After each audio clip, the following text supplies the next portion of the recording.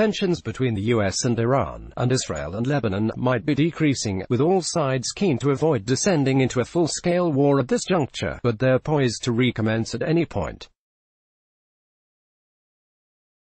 Critical meetings were held in Lebanon between officials from Iran and its proxy Hezbollah to adopt preemptive escalatory steps but a decision was made not to take any action on the ground, at least in the coming week. Tehran for its part is taking action on the nuclear and oil export front, preparing itself for radical new steps concerning the 2015 nuclear deal, in the light of failed French efforts to salvage it. The US has preempted the Iranian escalation by announcing a new round of sanctions and is preparing for further sanctions next week if Tehran carries out its threat of stepping up its nuclear activities.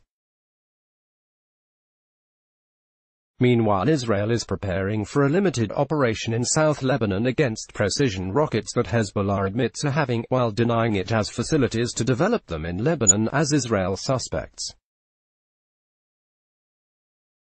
According to sources, Israel is preparing to launch Operation Justified Defense. All sides are mobilizing and next week will be critical but the precise timing for the next stage of the confrontation has not been set. Rather, it remains subject to calculations related to keeping the element of surprise while avoiding a full-scale war. Hezbollah has still to respond to the Israeli deployment of drones over Beirut's southern suburb last month. According to Israeli calculations Hezbollah Secretary General Hassan Nasrallah said the recent attack on the Israeli base of Evin carried out by his party, which led to no Israeli casualties, represented an escalation in the capabilities of his organization and pledged more of the same. Israel responded by limited shelling of Lebanese farms, prompting celebration among Hezbollah supporters who took this as a sign of success. But while Mr. Nasrallah was vowing to shoot down Israeli drones and carry out attacks, he completely sidelined the Lebanese state and commandeered its right to control decisions war and peace decisions, even as Israel threatened the whole of Lebanon if it failed to curb Hezbollah's activities. The first round of clashes between Israel and Hezbollah was contained, thanks to Russian, French and US efforts. It was carefully choreographed by Israel and Hezbollah to avoid casualties, following a pledge by the latter to respond to Israel's killing of two of its fighters in Syria. However, Hezbollah has still to respond to the Israeli deployment of drones over Beirut's southern suburb last month, according to Israeli calculations.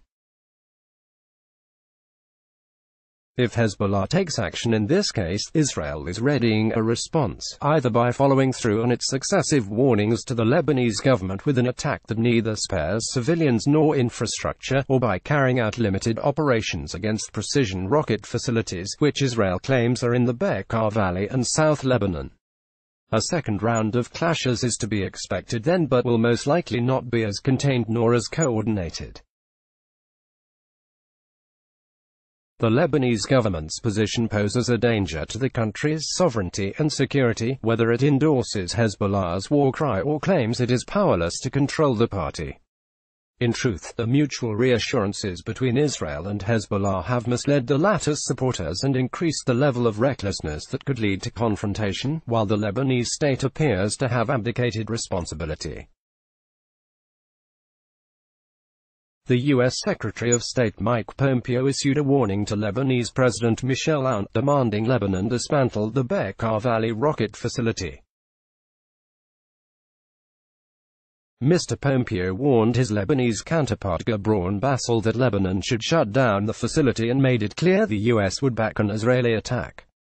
In reality, Washington deals with the Lebanese president and his son-in-law on the basis of their close association with Hezbollah, but it expects Prime Minister Saad Hariri to distance himself from this association, regardless of any accords to ease the smooth functioning of government.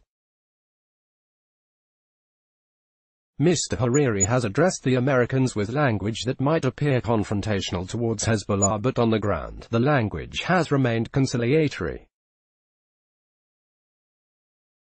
Speaking to the American network CNBC, Mr. Hariri said Hezbollah was both a local and regional problem, adding, I am a pragmatic person and I know my limits and the limits of this region.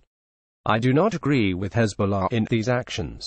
Mr. Hariri also said he does not endorse any Lebanese financial institutions that violated U.S. sanctions. However, in the view of the U.S. administration, as well as a large segment of the population of Lebanon, these remarks mean the Prime Minister has effectively relegated decision-making to Hezbollah. During the Iranian Hezbollah meetings in Beirut, which included senior commanders from the Iranian Revolutionary Guard Corps, an agreement was reportedly reached for additional weapons to be delivered to the militia in the coming weeks. It was also suggested that Iranian advisors be deployed to South Lebanon.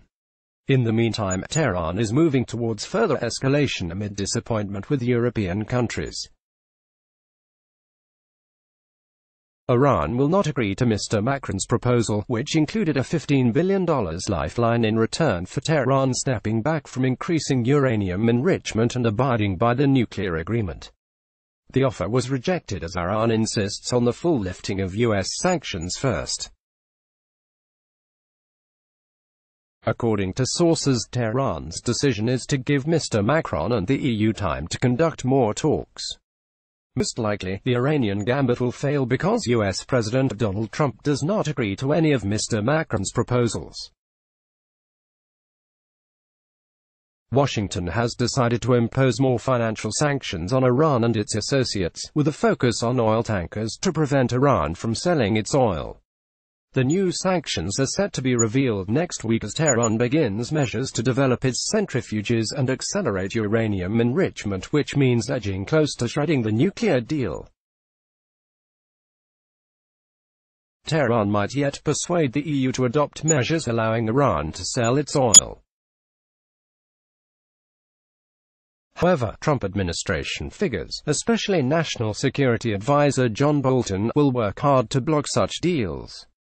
Washington continues to bet on its maximum pressure policy on Iran while Iran continues to reject dialogue or negotiations before sanctions are lifted.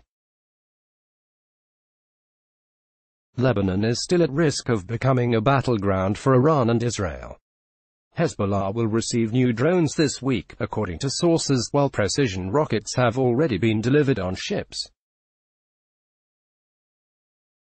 As both sides make military preparations, they are dancing dangerously on a cliff edge of miscalculation and arrogance. Updated, September 7, 2019 7.37 p.m. Let's block ads. Why?